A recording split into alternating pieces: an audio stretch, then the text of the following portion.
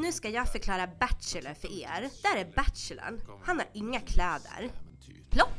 Sen är det öken. Och så hånglar han med massa folk för han är Bachelor. Man får det då. Fast det tycker inte hon den tjejen. Men han hånglar bara vidare ändå. Och då blir fler ledsna.